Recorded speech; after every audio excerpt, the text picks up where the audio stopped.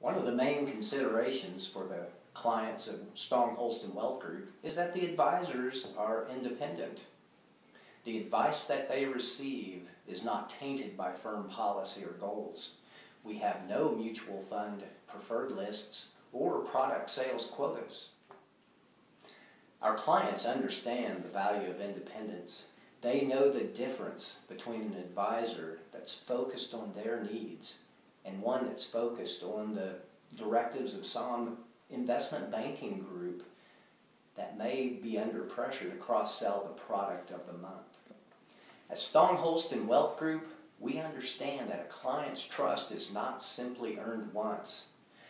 It's earned every day by adhering to the highest ethical standards and keeping our clients first at all times. Our livelihood depends upon it, and our clients rely upon it.